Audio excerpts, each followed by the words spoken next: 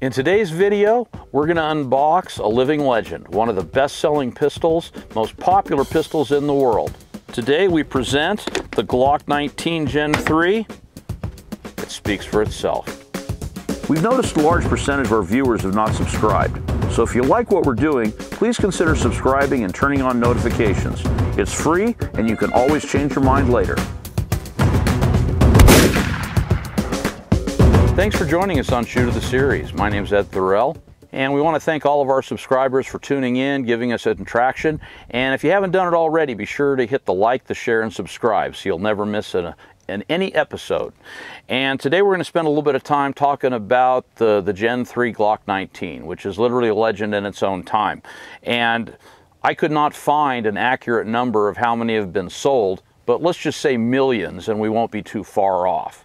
And the world changed in 1982 when the Austrian army uh, went out looking for a new pistol. And a gentleman by the name of Gaston Glock, who had already started a business dealing with uh, polymers, uh, decided that he wanted to get in on this also. And with no training as a, a gun designer, he brought together a team and came out with the Model 17. And for those of you that know the story about Glock, they had 16 patents prior, and 17 was the very first firearm that they developed and got their patent for. So the Glock 17 is their very first design, and the Glock 17 changed the world. And in a matter of three months, they were able to put together a working design that would end up changing the world. Now, even though they were not the very first polymer pistol, uh, they were really the first polymer pistol that really took off in terms of mass appeal and mass production. And what that did was it helped bring down quite a few of the costs. So Glock started off with the 17, which has been adopted by over 45 countries, uh, 2,000 law enforcement agencies, and they're everywhere. They're iconic. Uh, you see them in the movies, TVs, rap videos. The Glock is everywhere. Now, the Model 19 that we happen to have today is basically a compact version of the Model 17. And it's about a half inch shorter in the grip, and it's about a half inch shorter in the overall length. So it fits into the genre of a compact pistol. It's also a 9 millimeter. Now, um, this would be the third generation. The first generation didn't have serial numbers. The, the second generation did. The second generation also did not have the finger grooves, which the third generation does. And some people really like the finger grooves for having a positive grip. One of the other things that sets the, the Gen 3 apart is there's an extra pin that goes through the action and they're the first ones that, uh, that, that got that extra pin. They also come with a thumb rest on both sides, and uh, one of the things that uh, really sets the, the Gen 3 apart from earlier ones is the fact that it comes with a universal rail. And that universal rail allows for the placement of different types of accessories, whether it might be something like a laser or something that might be a tactical light, but it became a, uh, a universal on, on all Glocks moving forward. Now, it also had a modified extractor. And one of the things that you get with this extractor is it has a claw, and this little piece right here below actually acts as a loaded round indicator. When there is a round in the chamber, this little piece right here is going to stick out. So that little square is going to stick out so that in the middle of the night, you can run your thumb over it and be able to tell um, exactly what the condition of the pistol is and whether or not it's got a round in the chamber, which is pretty handy. Now, you can also get the Gen 3 in different colors. Black is the most popular, but you can also get it in olive drab and flat dark earth. They are out there. Now, like I said, it's, it's really hard to pin down a number on how many of these have been produced and sold. Um, I've seen a lot of things on the forums, and the one thing you can be sure about the internet is if it's on the internet, it must be true.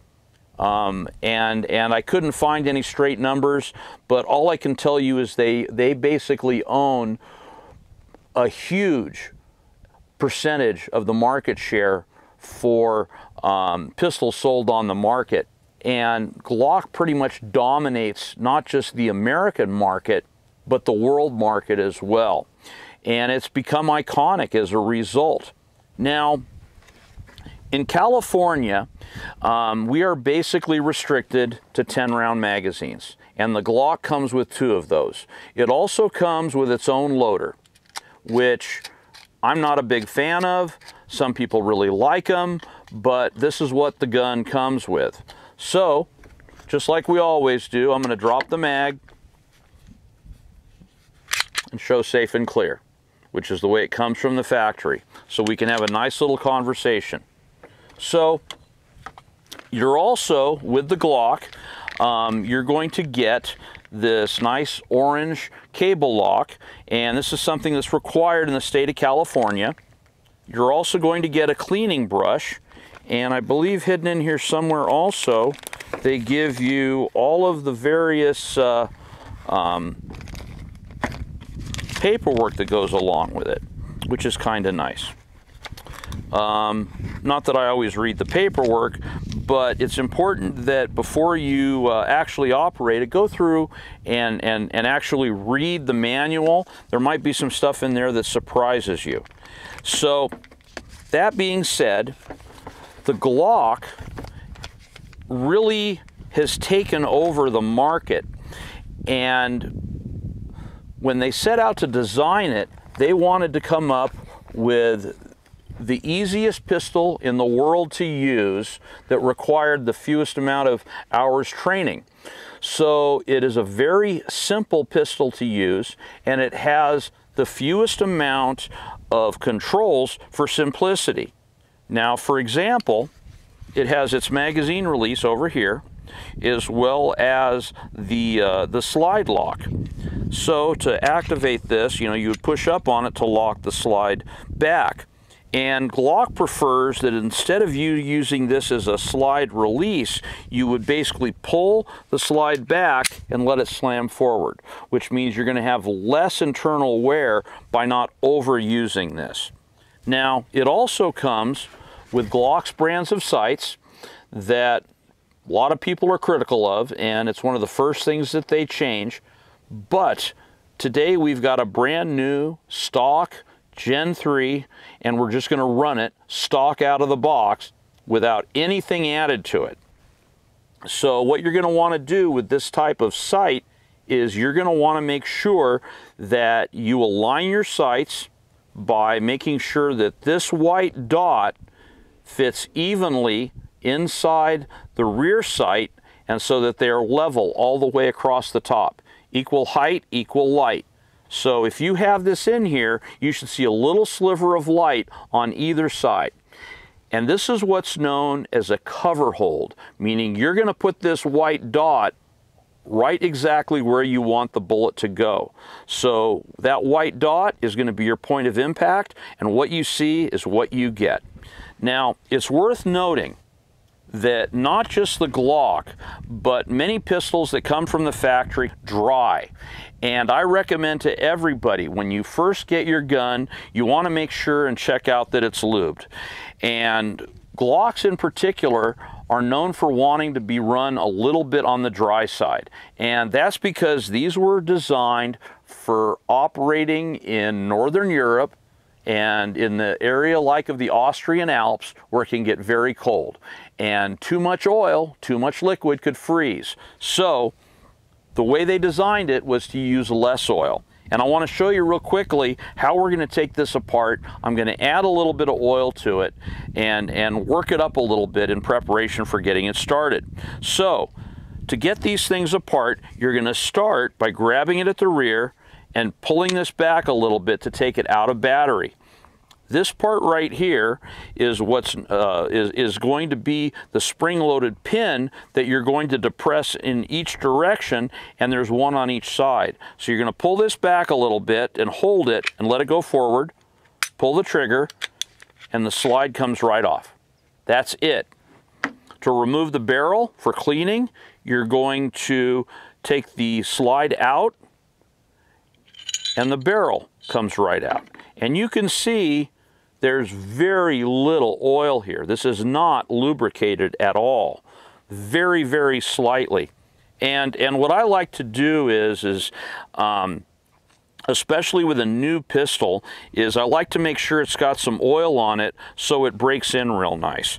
And, and um, what I like to do is I like to just put just a little drop of this so it goes all around the barrel so that as it goes through that bearing surface at the front of the slide, it's nice and clean and smooth and you get a nice even wear surface as you break it in.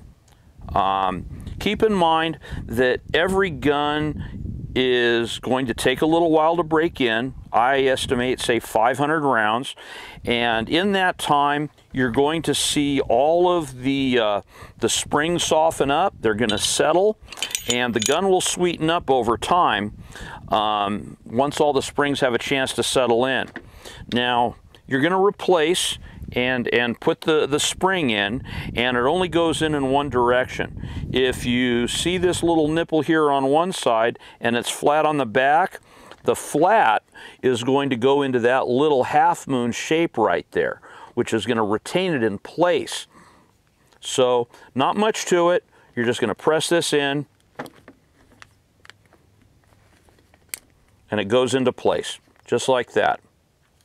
Not much to it. Now, I recommend not over oiling a Glock because they do like to run a little bit on the dry side. So I'm going to put a, just a little drop of oil right there on, on those, which are the, you know, the, the guides. And these are actually molded into the frame, you know, during the uh, uh, production of it. And I'm just going to put a little bit here in the action as well, you know. Um, and that's really about all it really needs. Now you can see tutorials on YouTube that are going to give you much more better specifics on, on how and where um, you should oil it. But we're just giving you a basic idea today. And same thing, make sure that there's no dust or dirt in there. Line it all up. Line up your slides. Nice and easy. Of course, everything's new and it's tight. Okay. And, and what I like to do, and, and some people may think it's necessary, some people it's not, I just like to work the action a little bit. I want to get that oil to kind of flow around on the uh, on all those bearing surfaces. Make sure it's got a nice even coat so that when we do get started shooting it, it's, it's a little bit more ready to go. Now, no one's going to say that we're the very first Glock uh, video out there, but I still want to point out a few different types of features, and, and one of them right here is the safety. The safety is actually built into the trigger, and you can see it right there. It's that little spur right there. And that spur has to be depressed in order for the trigger to be activated. If it doesn't, it's not going to be able to go all the way to the rear. So it is going to have to be depressed for the trigger to work, just like that. All right, so those are the major controls. You have the slide lock, and you're going to push up on this as you pull back, and it's going to lock into place. All right. You're also going to, when you release it, don't necessarily push down on here, just pull back and let it go. And always let the, the force and the violence of the spring do the work. Do not ease it forward, you will induce a malfunction. You also have your magazine release, which is gonna be low and behind your thumb. And when you push this in, you're gonna see it's gonna release that. And the magazine, when you do that, should just fall free. Okay. Um, the only other real controls that you have to think about are the trigger and the safety, and then also the, um, the disassembly pins that we showed again. So, of course, when the magazine is empty, it's going to lock home, indicating that the gun is hungry and wants to be fed some more. And um, that's about it. Now, one of the things I wanted to take a couple of minutes to talk about is the fact in California, um, the only Glock 19 that is available on the civilian market would be the Gen 3. So this is your big choice in California. However, there's really only two 19s, well, three actually, the 19X. This would be the Gen 5, which, if you've been watching the show, this is no stranger. My Gen 5 was purchased used, which is something that you can do in California. If it comes in legal to the state and was purchased new by, like, say, a law enforcement officer, it's legal to buy these things used. It's just a civilian cannot buy them new. Now, there's some slight differences when you go from the Gen 3 to the Gen 5, and one of the things that you'll notice is it also comes with the same type of accessory rail that you're going to be able to mount a light or a laser to. Um, one of the things that you'll be able to see in terms of differences if you look at the Gen 3 versus the Gen 5 is the Gen 5 one of the things that it did is it contoured the front of the muzzle to make it easier to reholster. Now, another thing that you're going to notice as we flip these over in this direction is that you have on one side, you know, your, your um, slide lock, but with the Gen 5, you actually get them on both sides. It's ambidextrous, which is a really nice feature. Um, other things that, they're, that are different is the Gen 3 has the finger grooves, whereas the Gen 5 does not. And I actually prefer it better with the my fit of my hand, um, having having uh, the lack of the grooves. Uh, one of the things that comes with the Gen 5 also as part of the kit is you uh, it comes with four different uh, beaver tails which you can choose from to see which one fits your hand best. Now one of the things you can do is you can add an aftermarket beaver tail just by pushing out this particular pin right here. And the beaver tails will come with a secondary pin, which you're going to fill up the space since you're putting something wider on it. Um, and another thing to take a look at is with the magazine well of the Gen 3, it has one cutout in the back which is for stripping the magazine. You can get in here and grab it because of that cutout if for some reason it jams up. What the Gen 5 does is it actually gives you a cutout at the front and the back so that if for some reason your magazine jams up, you can actually grab it from both sides. Um, some people don't care for that, but the Glocks evolve. One of the things that you'll also notice between the Gen 5 and the Gen 3 is the Gen 3 is going to come with a single spring recoil system, whereas the Gen 5 is going to have a dual spring, a spring within a spring. And you're also going to find that there are going to be some differences internally. Um, there's slightly different types of rifling in, inside the barrel. Uh, you're going to notice that the trigger systems are slightly different, but um, I tell people if you're just getting into pistols and you're looking for a great everyday pistol that's going to be easy to train with, it's really hard to beat the Glock. Um, and I prefer the Model 19 for its size over the full size of the 17, but either, either one's going to be a great choice. And the numbers alone uh, are going to justify that the Glock is a winner. And, uh, you know, you can't argue with the sales numbers. So, um, what we're going to do here in just a minute, uh, we're going to load this up. We're going to come right back and we're going to put some rounds through a brand new stock Gen 3 Glock just so you can see how it shoots right out of the box. All right, well, we're going to run a couple of 10 round mags through this. And let's see if I can get a tune out of this trombone.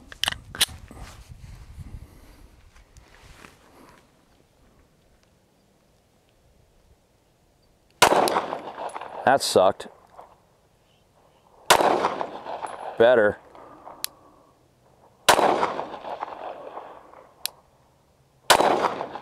I've never been a big fan of the stock Glock sights and it shows. I find myself chasing the ball and I much more prefer a three dot sight. And for my purposes, with my Gen 5, I went out and bought my Trijicons. I had them ordered and they were ready to stall as soon as I picked up the pistol. All right, that's 10. Not terribly impressive. All right, but not impressive. Okay, here goes another 10. Keep in mind that the triggers on these are incredibly stiff. And you've really got to focus on how your finger feels on the trigger and not jerk it and just feel it.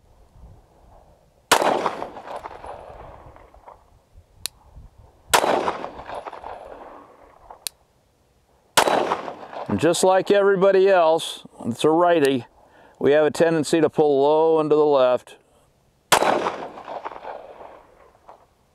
With a new gun, with a new trigger, that's really common.